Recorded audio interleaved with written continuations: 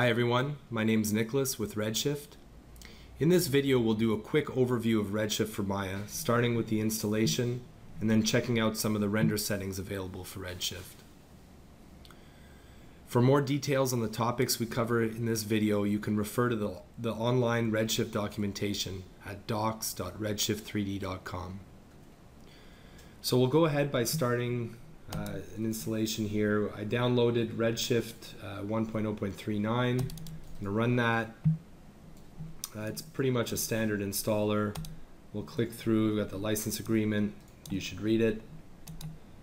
Um, and then we come here to select which uh, packages we want to install Redshift for.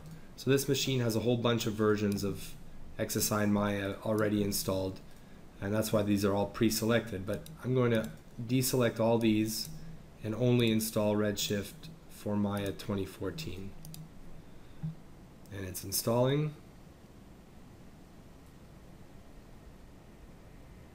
And it's done. So at this point uh, if you're if you've purchased a license of Redshift um, and you haven't activated your license yet on the on your machine you can check this and it'll run the the licensing tool. Uh, if you're using the demo version, that this step's not necessary. Or if you've already activated your license on, on the machine you're using, you don't need to activate it every time you install a new version of Redshift. So we'll just finish this and we're going to check whether Redshift was correctly installed.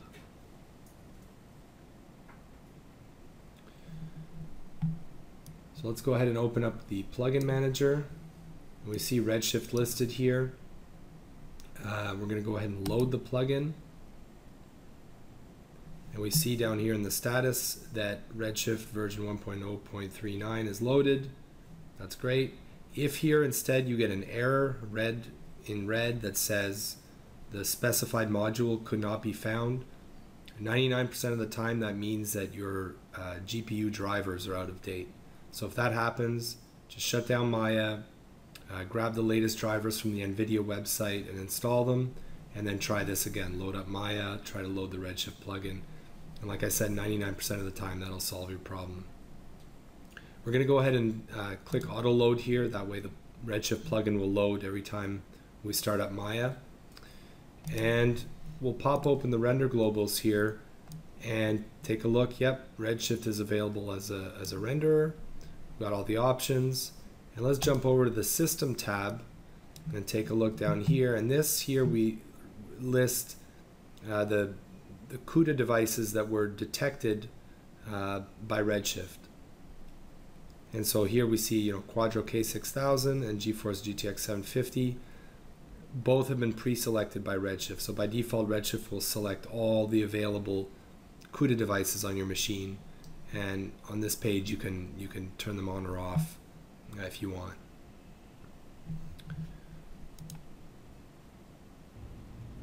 Okay, so now that we've installed Redshift and verified that it's loading correctly in Maya, let's do a brief overview of the various settings in the render globals. So I'll, I'll first open up a scene here we'll take a look. Redshift's been selected here as the renderer. Uh, we have the common tab. This common tab should be familiar to anybody who's familiar with rendering in Maya. Uh, it's very similar to the common tab that you'll see in Mental Ray or the Maya software renderer. Uh, the only minor differences are that we have a slightly different list of output file formats supported, but generally you should feel right at home here. So let's jump over to the output tab and focus on this first section here about progressive rendering. So Redshift supports two distinct rendering modes, progressive rendering and bucket rendering. With bucket rendering, the frame is rendered on a block by block basis, as you can see here. On the other hand, with progressive rendering, the frame is rendered incrementally in passes. So you start with a noisy frame almost immediately, and it's progressively cleaned with each pass. Progressive rendering is especially useful when you're making tweaks to your scene. So here I can rotate the camera. I can modify the material on the dragon here. I'm going to go ahead and make it yellow or blue. I can rotate the light. And as you can see, you get almost instantaneous feedback to your edits. By default, Redshift uses progressive rendering for IPR renders and bucket rendering for single frame and animation renders. And that's usually most appropriate in most cases. If you want to override that behavior, and for example use bucket rendering during IPR, you would go ahead and disable forced progressive for IPR here. And you can see that the IPR is doing a bucket render. If you want, on the other hand, progressive render on your single frame or animation renders, you would go ahead and click enable here on progressive rendering. And as you can see, the regular rendering is doing progressive rendering. Uh, the number of passes here controls how many progressive passes are going to be done before the frame is considered to be finished. So when you're doing a single frame render, you might want to select something like 128. But if you're using progressive rendering primarily for IPR, you can probably go ahead and leave that at a high value and rely on the fact that IPR will automatically re-render the scene when you make edits. Um, so you don't really care when the frame is you know finished so to speak. It's worth noting that in progressive rendering these settings here anything basically anything that controls number of samples or number of rays such as these settings here they have no effect during progressive rendering. Also any point-based rendering techniques available in, in redshift like subsurface scattering and photon mapping they have no they are not currently supported in progressive rendering. So if you're going to use those techniques you probably want progressive rendering disabled.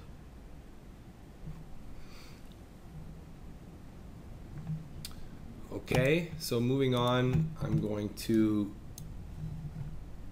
just start a new scene here and we're going to move on uh, to talk about the unified sampling settings Okay, so I'm gonna just go ahead and load up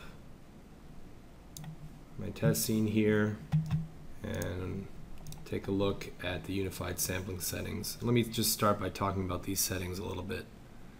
Uh, so the unified sampling settings control how many samples will be taken for each pixel in the final image. And that has a direct effect on how noisy or clean your render will be. So I'm going to start by just showing you what it looks like with these settings and as you can see it's terribly noisy. So what these samples do is Redshift will start by taking the number of samples equal to the min samples per pixel and will take up to the max samples per pixel depending on whether or not it detects any noise. If your frame is noisy because of things like depth of field or motion blur or both in the case of this scene, or if you have visible jaggies along the edges of your geometry, you'll want to increase the number of unified max samples.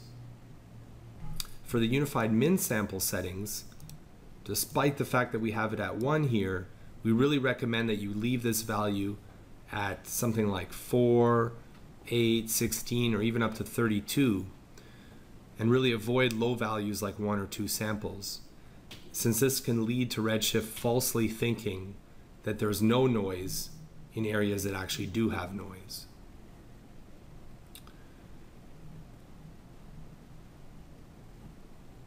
So by default, unified sampling uses the same pattern, pattern of noise of sampling on each frame uh, and when rendering animations, this can sometimes produce noise patterns that seem like they're stuck to the camera. Um, and often that's not desirable. And so to fix that, what you can do is you can turn on this, this setting, randomize pattern on each frame, and that will randomize the sampling pattern for each frame and make the noise appear to be more like TV static rather than dirt stuck to the screen. Okay, so as I said, in this example scene, we have depth of field on the whole frame, and then this dragon here on the right is moving uh, vertically and so we have some motion blur there as well. Um, as you can see, like I said, the, the noise is just completely unacceptable. And uh, we can increase the unified sampling settings. Let's bring them up to 416, which would be the default on a new scene. And you can see that while the situation has improved, the, the areas that are highly out of focus here for the depth of field and the areas of large motion here are still quite noisy. So we're going to go ahead and crank that up to 256 max samples. And you can see the situation improves tremendously. There's still a tiny bit of noise. If we, uh, if we go with 512 here,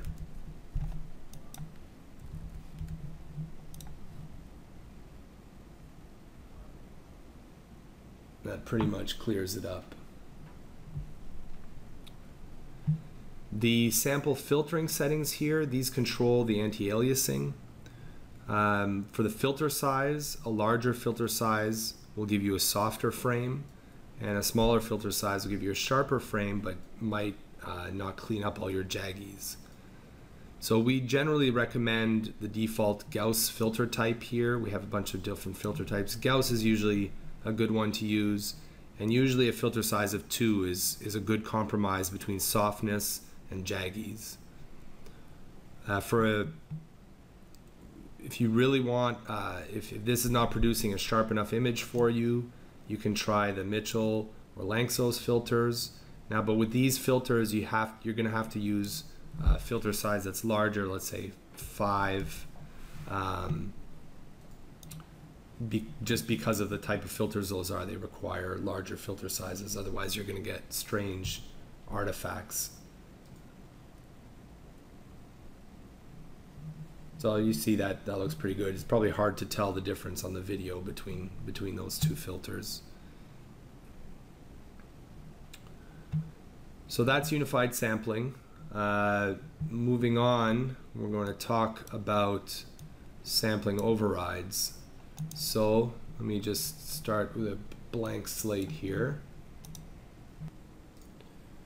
And uh, let's talk about sampling overrides open up the scene.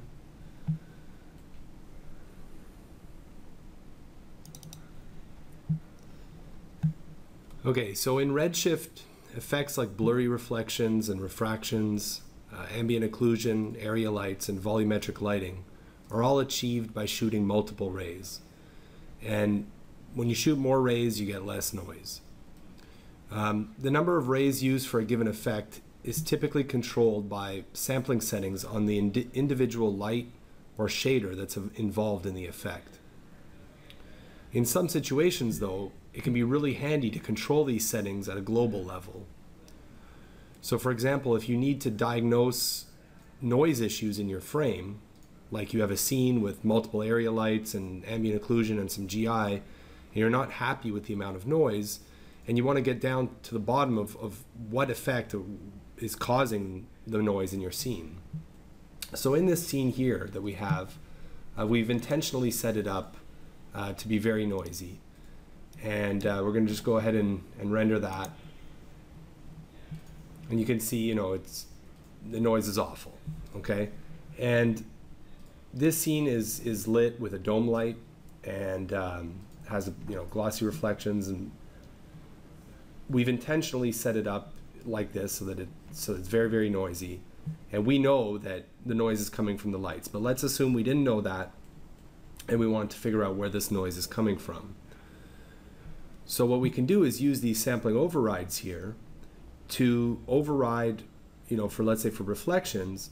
If I turn this on this is saying replace all glossy reflection effects uh, the number of samples on those to 256. So any shader uh, that's used in the scene that has glossy reflections and has a number of samples setting uh, is going to be affected by this, this override.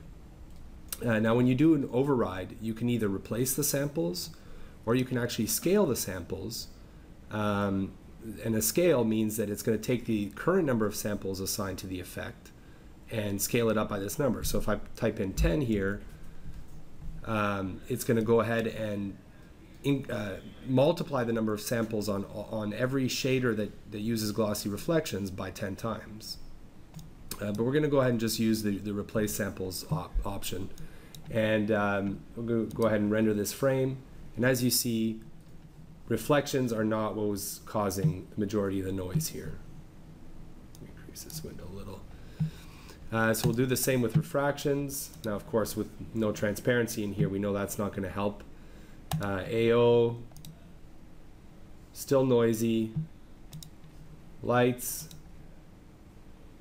And we see that the, with the when we've bumped up the samples on the light, we've really cleaned up the frame a lot, and the noise is, is basically gone at this point.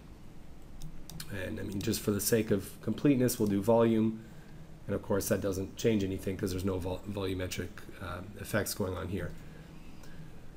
But yeah, so basically the sampling overrides provides a really quick way to diagnose noise issues in your scene. So moving on, we're going to talk about motion blur. Um, and to do that, let's just start from a clean slate here. And I'm going to load up my motion blur scene. So motion blur simulates the effect that you get in a real camera uh, where objects that are moving while the camera shutter is open become blurry. And so you can see um, in this scene, we have two dragons that are static and one that is uh, moving up and down. And so if we go ahead and do an IPR here, and let's look at our motion blur settings. So motion blur is off and everything is just rendering sort of static and we had no impression of motion. This guy's not blurry at all due to his motion. So we'll go ahead and turn on motion blur and you can see that he blurs nicely.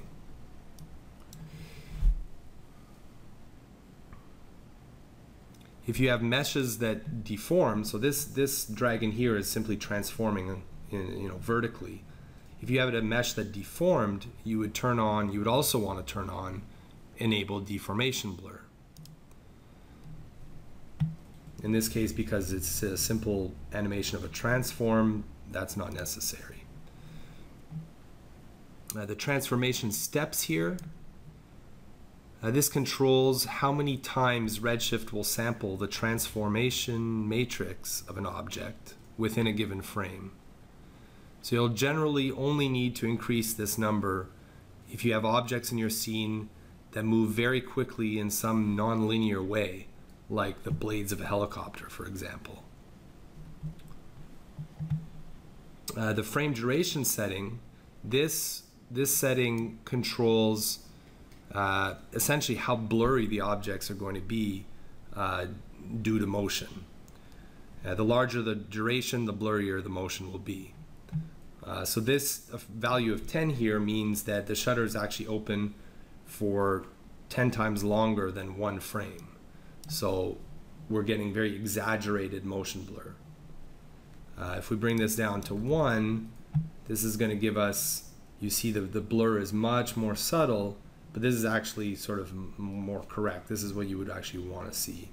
Um, and it's just going to really smooth out your anima animations. Moving things that are moving are just going to look a lot more realistic. Okay, moving on to gamma.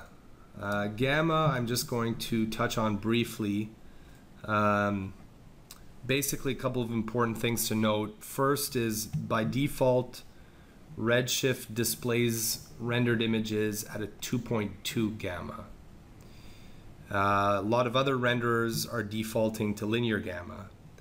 And we chose a value of 2.2 because this this represents more this this is basically, you know, by default a proper linear workflow.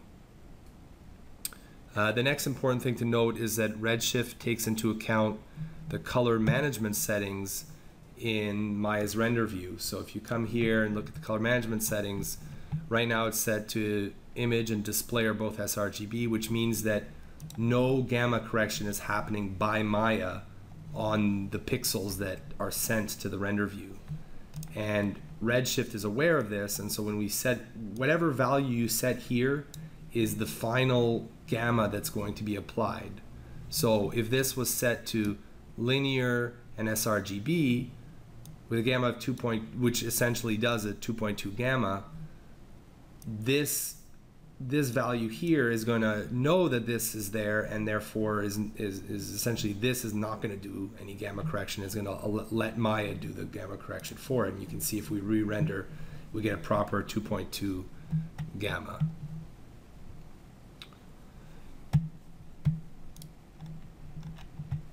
Okay next we have environment settings. Um, so for the environment, um, let's go ahead and start a new scene for that. I have a, I have an example scene for that. Okay, so I'm just going to go ahead and open up the test scene here. Let's take a look at the options. Environment. So an environment shader is generally used to specify background to your scene. Uh, Redshift currently supports two types of environment shaders. Uh, the Redshift environment, which does environment mapping and includes advanced functionality such as ray switching and so on. And we have the Redshift physical sky, which is actually most often used along with a physical sunlight and a photographic exposure lens shader. Um, the physical sun sky create button here, this basically simplifies setting up a typical sun sky rig into a one click operation. So it creates a physical sky shader along with a physical sun and a photographic exposure lens shader and connects them all up uh, and makes it all ready to use. So if I hit create there, you see we've got the physical sky, the exposure, uh, the physical sky here is actually also connected to a sun here. Um, we have all the settings there. Um, next, we have the atmosphere slot. Um, this, right now, currently, Redshift just has a single atmosphere shader called Redshift Volume Scattering. Um, this supports fog, height fog, and also global uh, volumetric lighting effects for light beams and so on. Um, so we'll go ahead and render this scene. And so we have some basic height fog here. Uh, if I increase uh, the fog attenuation here, uh, you'll see that the fog basically just gets thicker. Um, let's bring it back down a little bit. And, you know, I can do things like increase the height of the fog. Um, you'll see that the, the fog is just you know higher, occupies uh, more space. Uh, if you enter zero for the height, it basically disables height altogether, and so you have fogging um, regardless of, of, of how high up your your objects are in your scene.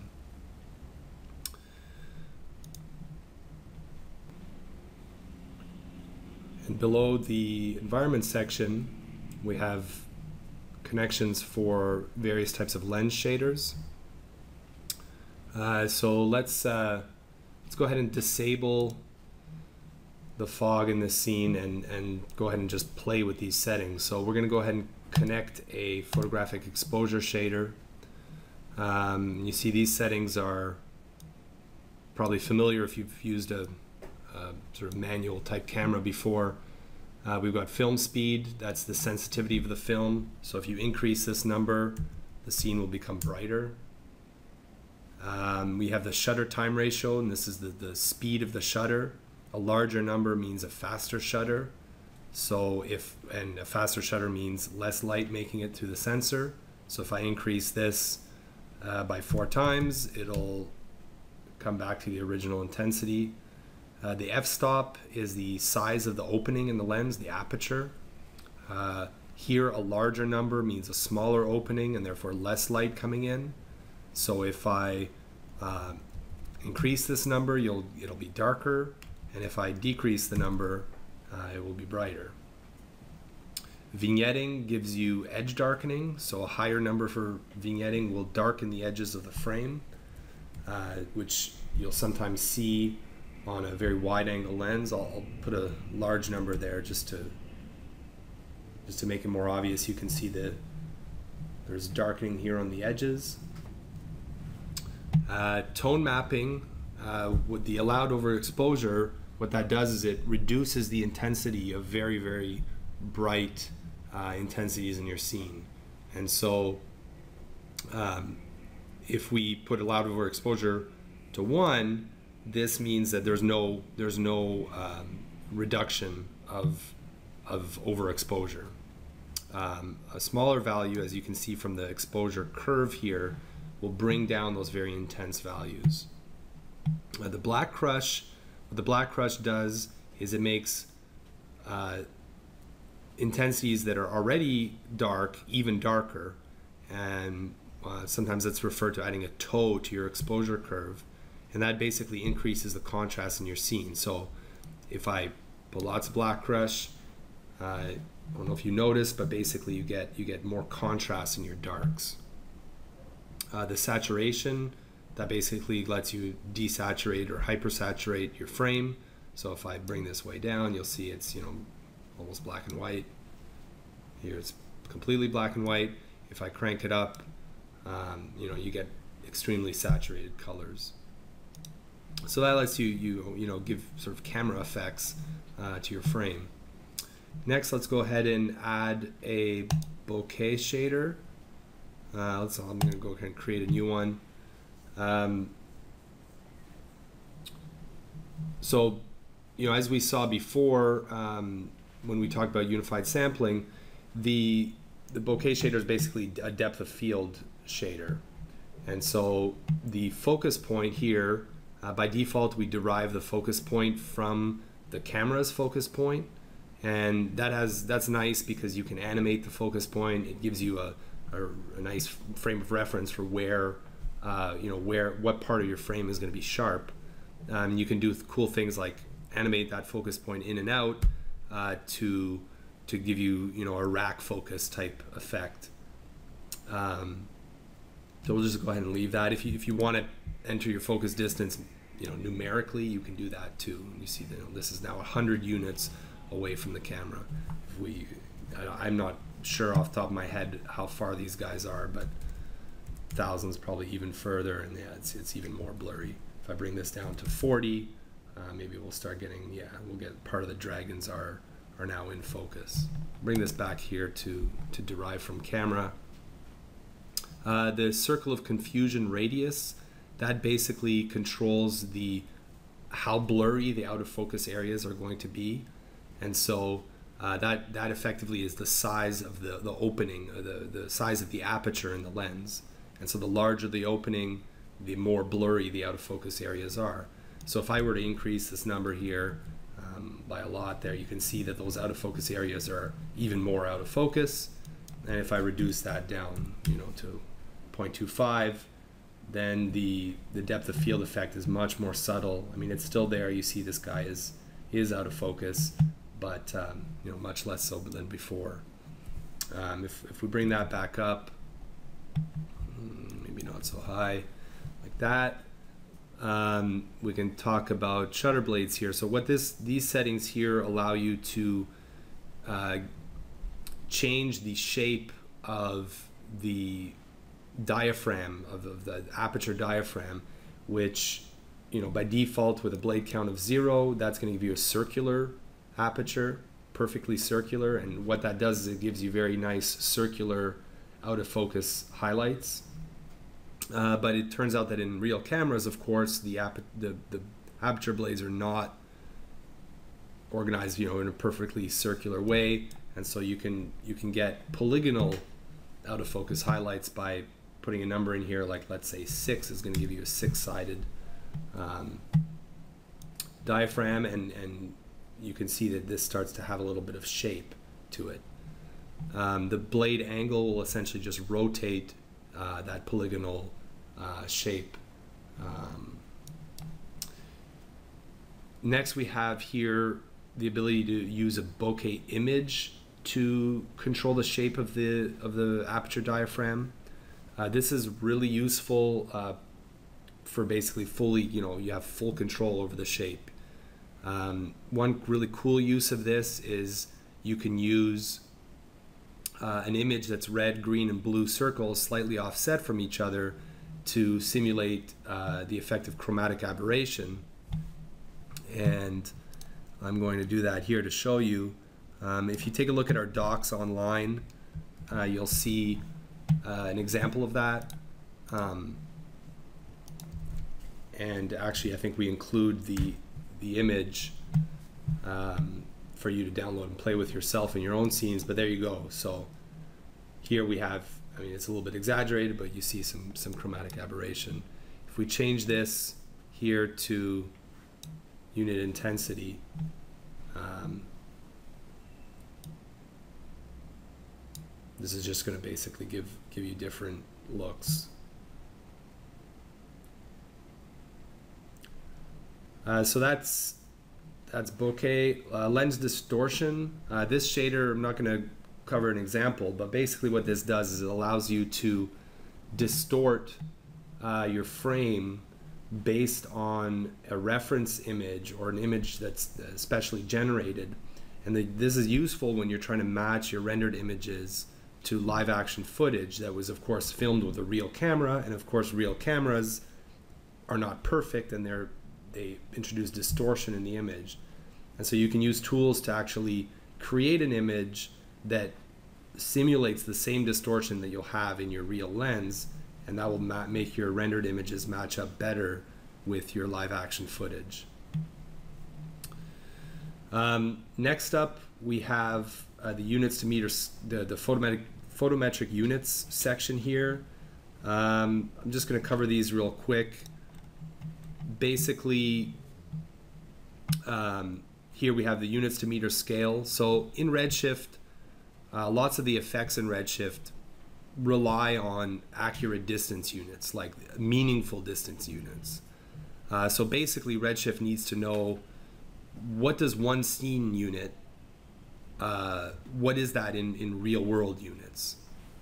Um, so if you're, it turns out that by convention, Maya's scene units are centimeters, and so by default, this is set to 100, meaning that there are 100 scene units uh, to in one meter, you know, 100 centimeters per meter.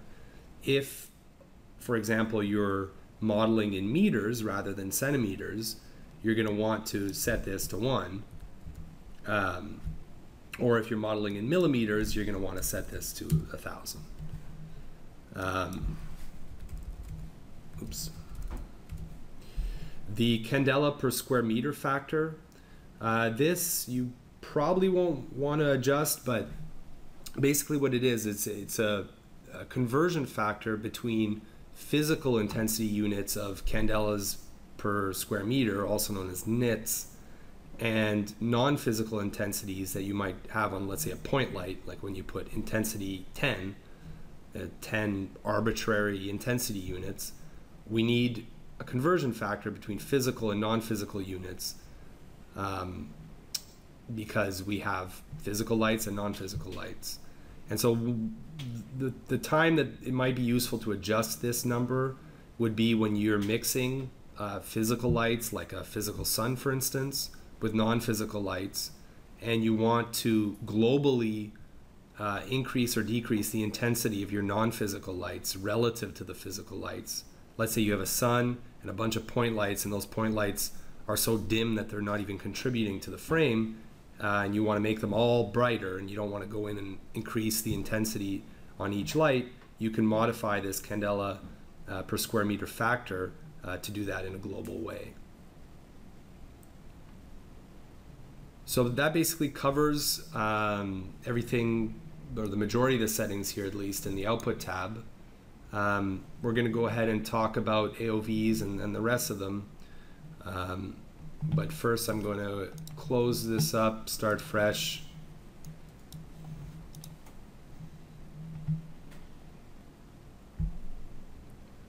Okay, so AOVs, uh, let's take a look. So what's an AOV? Well, an AOV stands for arbitrary output variables. And in a nutshell, AOVs are additional render buffers that hold information about each pixel in the final image, information other than the color. Uh, these AOVs can be used for all sorts of to make all sorts of adjustments to the image after you've rendered, so basically during the compositing stage. Uh, for example, if you have a depth AOV, a depth AOV encodes the distance between the camera and the surface that's under each pixel. And you can use the depth AOV to simulate things like depth of field uh, in, in the compositing package rather than in the renderer. Uh, or you can use it to do things like adding distance fog, all as post-process effects. So you don't have to re-render your, your entire movie uh, to adjust the depth of field, for instance. You would just have to you know redo the depth of field in post. So adding depth of field for or adding AOVs, excuse me, in Redshift is easy. Um, you have a list of available AOVs here. Uh, for example, to add a depth AOV, I just double click it. Um, this here shows me my list of active AOVs. I can disable an active AOV here by unchecking this checkbox. Let's add a couple more and just just for fun. Uh, so you know I could have them all disabled like that. I could you know, only enable the depth and so on. Um, AOVs have each of them, or at least most of them, have their own parameters specific to that type of AOV. To inspect those parameters, you click on this inspect button, and here you have you know, rules for naming the file, the type of file it's going to be uh, that's going to be written out, and uh, filtering settings and so on. Anyway, we're not actually going to cover AOVs in depth in this video. It's it's just a really uh, involved topic, and this video is already borderline too long. So we'll go ahead and make a separate uh, video dedicated to AOVs, and we'll have a few more of those for some other topics like GI and so on, um, just so that you know we can give you the detail, go into the detail that that is deserved for these these things. So let's move on to this tab here, opt optimizations. Um, the settings we're mostly interested in here are going to be these trace depth settings. Um, the other settings I we really recommend you leave alone unless you have a specific reason to change them. If uh, you know if you're a really advanced user, some of these can be very useful. If if you get uh, asked by support to you know modify one of these, then of course you know that's fine. But generally, you're just going to want to play with these trace depth settings, and these settings essentially control how many times reflections, refractions, or other ray types can bounce around in the scene. So, for example, if you have many layers of glass or other semi transparent geometry, you'll probably need to increase the number of the, the, the refraction trace depth uh, because at three, it's the, the ray is only going to be allowed to go through three uh, transparent surfaces before it stops. Um, Another example is if you're using like a large number of GI bounces, and we're, we're going to cover GI in a little in a few minutes here. Uh, you might also need to increase this this combined um, value to compensate. So let's look at a real quick example. Um, so I'm going to go ahead and open the example scene here. And so what you can see is we have a dragon model. Uh, he's inside a box. This is the box here. Uh, this is our camera. This is our perspective camera. If I select it, you see this is our camera. I've, there's a light in there, and this box is actually a, perfect mirror. Um, and the camera is inside the box, and so what we expect to see here is the dragon reflected uh, sort of over and over again. And let's do a quick render and look at our settings. Not maybe not what we wanted to see here. We only see a few reflections of the dragon. There's this weird black one here. What's going on, right? Um, maybe it's our trace depth settings. So reflection, three bounces. So we're getting three bounces of reflection and up to six total bounces of any any kinds of of uh, bounces. So let's try to max out these guys, see what that gives us. Nothing. So you might wonder, and this this actually happens to a lot of users. Hey, I maxed out my trace depth settings. I'm still not getting the number of bounces I expect.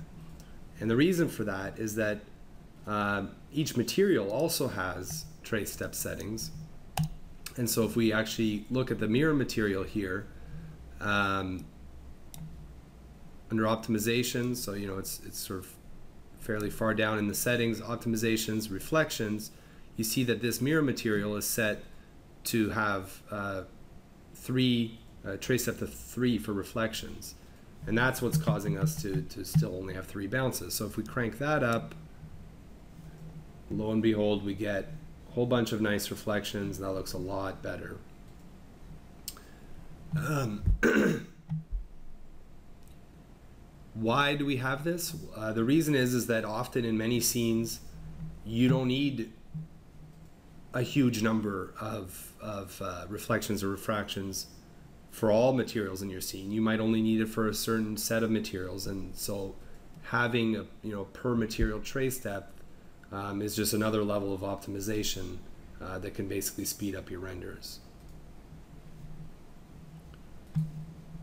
Okay, so moving on to GI. Let's go ahead and load up the test scene we have for that. And render a frame. Okay, you see we have no bounce light here. Uh, so we'll go ahead and turn on, we'll select brute force as our primary GI engine and hit render. And now you see that we have light bouncing off the wall and lighting the backside of the dragon. Now, unfortunately, we've got a fair bit of noise here. It's not very nice. And uh, fortunately, we can simply increase the number of brute force rays and you can see that that clears up very nicely. Um, if you want the light to bounce around more than once, uh, we want to turn on our secondary GI engine. And a really good choice for that is the Irradiance Point Cloud. It gives you really good uh, high performance uh, secondary bounces. Um, this number of GI bounces here for this scene, the secondary GI is not going to play a big role, so three is fine, more than fine. For interior scenes, you might want to crank this up to like five, maybe up to 10. Um, the next thing you'll want to change most likely is the screen radius. You can reduce that number to say eight or four even. And what's this? What this is going to do is going to you make more irradiance point cloud points, uh, smaller points, which are therefore more likely to actually be used by the brute force, and that's going to uh, prevent any retracing from happening, which can slow things down. So essentially, lower screen radius is going to improve uh, your performance here. Uh, and we render, and you know we don't see a huge difference from the previous frame, but there is some additional bounce lighting going on there.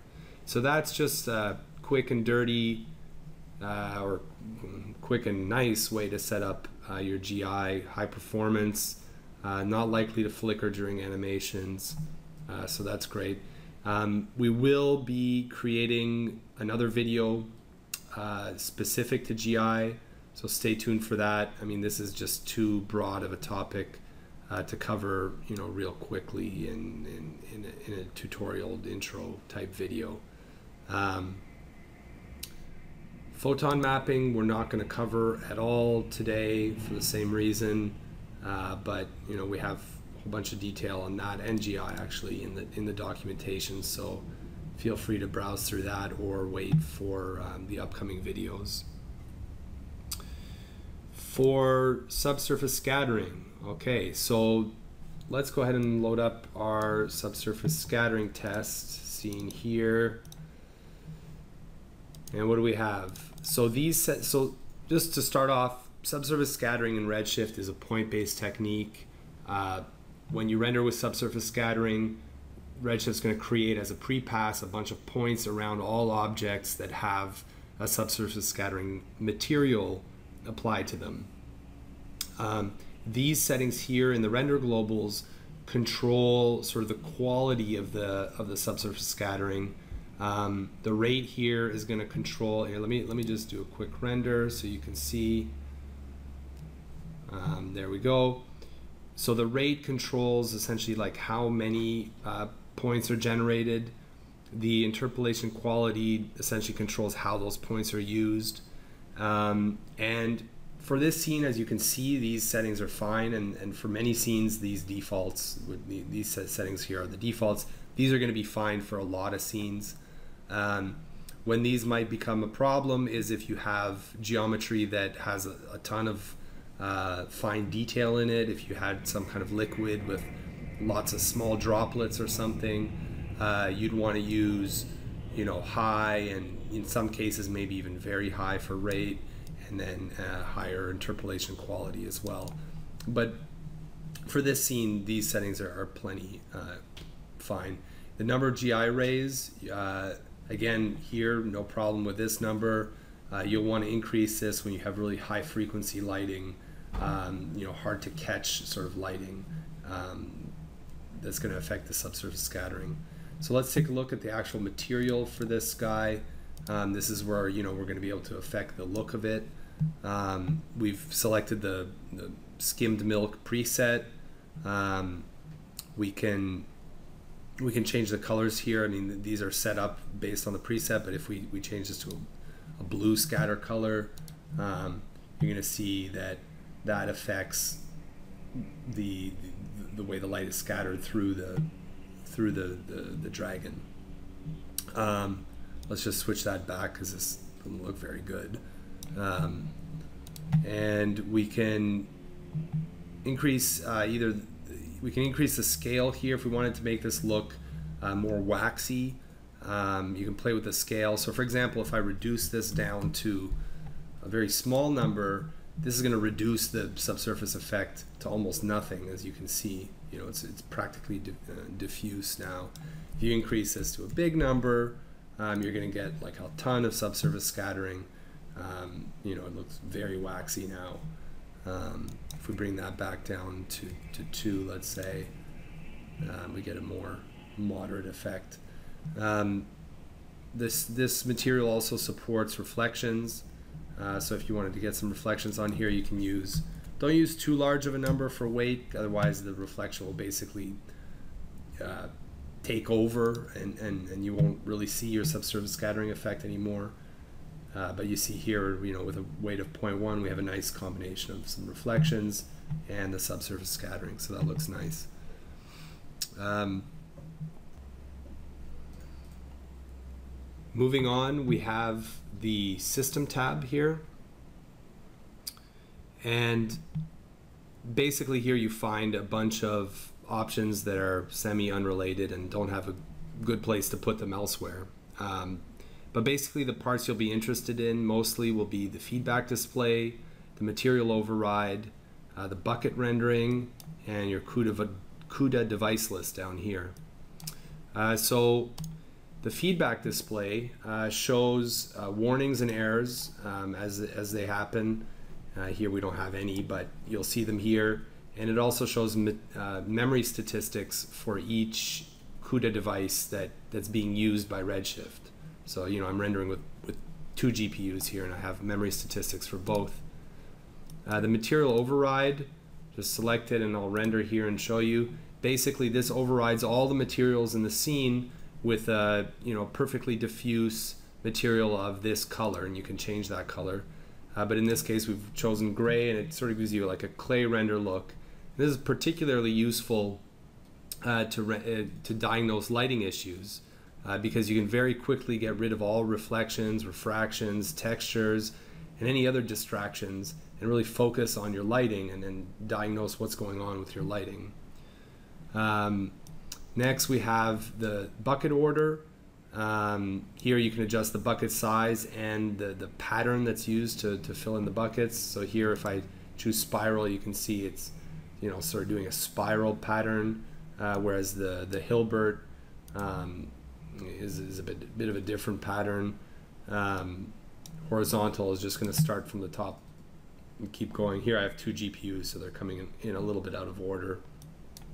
Um, the CUDA devices down here, this basically just lists which CUDA devices I have enabled. So here I have both my Quadro K6000 and the GTX 750 Ti enabled for Redshift. Um, so if I wanted to not use this one, for example, I would do this. And but notice that as it says here, you do need to restart Maya for this setting to take effect. So if I render now, I'm still using both GPUs. Uh, so that's that's probably all you care about on the system tab um, typically. And that basically covers um, most of the settings that, that you'll be interested in here. Uh, we're, we will cover the memory section in, a, in, a, in another video. Um, and that does it for our first part of this uh, introductory tutorial. Uh, stay tuned for part two where we'll talk about lights, uh, shaders, um, tessellation settings, and displacement. Um, basically everything you'll need to, to get up and running with Redshift. Cheers.